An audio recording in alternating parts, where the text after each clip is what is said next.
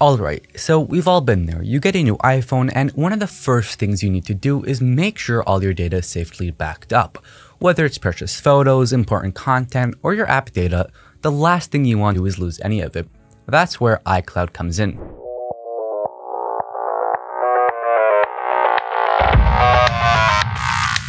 Hey everyone, welcome back to the channel. In today's video, I'm going to show you exactly how to back up your iPhone to iCloud.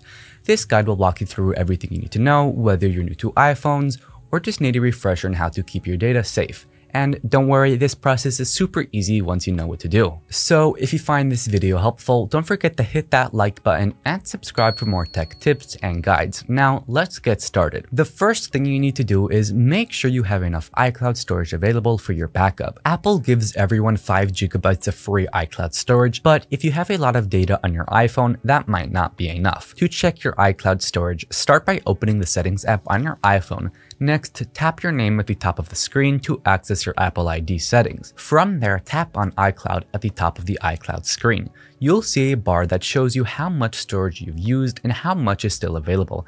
This gives you a clear overview of your current iCloud storage situation, so you can decide if you need to manage your storage or consider upgrading your plan. If you're running low on space, you might want to consider upgrading your iCloud storage plan. Apple offers several options like 50GB, 200GB, and 2TB plans.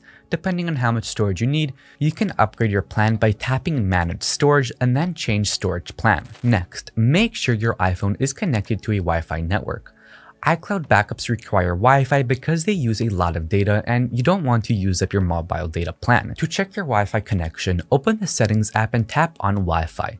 Ensure that you're connected to a reliable Wi-Fi network, and if you're not, select your Wi-Fi network and enter the password if needed. A strong and stable Wi-Fi connection is crucial because the backup process can take some time, especially if you have a lot of data. Backing up your iPhone to iCloud can use a lot of battery power, so it's a good idea to plug in your iPhone into a power source while you back it up. This way you don't have to worry about your battery running out in the middle of the backup. Just plug in your iPhone into a charger and make sure it stays connected throughout the process. This also ensures that the backup will continue smoothly without any interruptions, enabling iCloud backup. Now that everything is set up, it's time to enable iCloud Backup. This will allow your iPhone to automatically back up to iCloud whenever it's connected to Wi-Fi, plugged in and locked, which usually happens overnight. To enable iCloud Backup, open the Settings app on your iPhone and tap your name at the top and go to your Apple ID settings. Next, tap on iCloud, then scroll down and tap on iCloud Backup. Here, you'll want to toggle the switch to turn on iCloud Backup. When it's enabled, the switch will turn green. Once you've turned on iCloud Backup, your iPhone will automatically back up to iCloud whenever it's connected to Wi-Fi and plugged in. You can also manually back up your iPhone at any time by tapping Backup Now. This gives you peace of mind knowing that your data is always safe and up to date. Starting a manual backup. Even though iCloud will automatically back up your iPhone, it is a good idea to start a manual backup,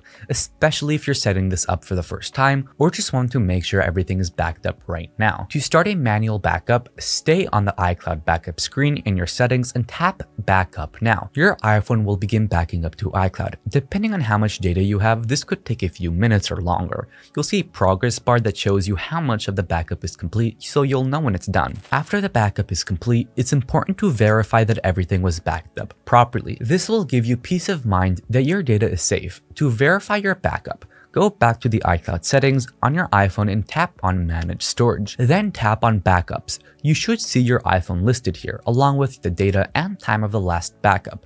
If everything looks good, your backup was successful, and you can rest easy knowing your data is secure. Now that your backup is complete, you might be wondering, what exactly is included in your iCloud backup? Here's a quick rundown. Your photos and videos are included if you don't use iCloud Photos.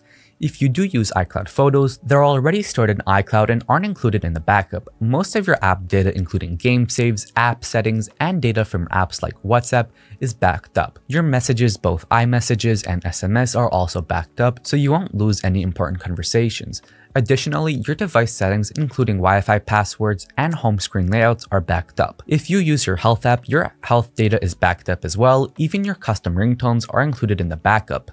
Now, what's not included in your iCloud backup? While iCloud backups are pretty comprehensive, there are a few things that aren't included. Purchase content like apps, music, movies, and TV shows isn't included in the backup. However, you can re-download them for free from the App Store or iTunes Store. Apple Pay information, including your cards and settings, isn't backed up, so you'll need to set them up again.